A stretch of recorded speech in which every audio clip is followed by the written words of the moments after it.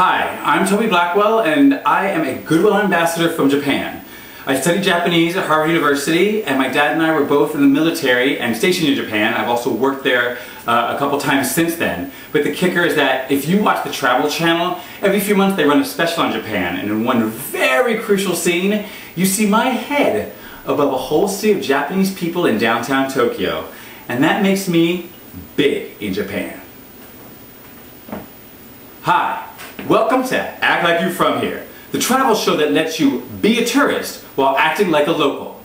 I'm Toby Blackwell, and every week I'm going to take you to a new and exciting travel destination, but I'm going to do it in a different kind of way.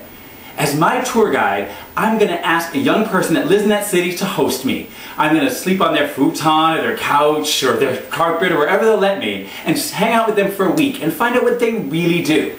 I want to know where do they like to eat? Where do they like to shop? What are they excited about in their own city?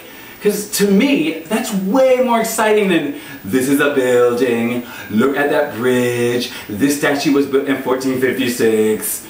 I mean, this is cool, but I would much rather know what's really going on. So for the first episode, we're going to start in my neighborhood. I live in Hell's Kitchen, and I'm halfway between Times Square and the Hudson River.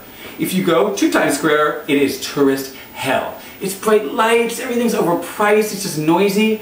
But if you go one block in the other direction, you hit 9th Avenue, which is a street of shops and restaurants and bars that we locals love. So I'm going to take you there right now, and after an hour with me, you will act like you're from here.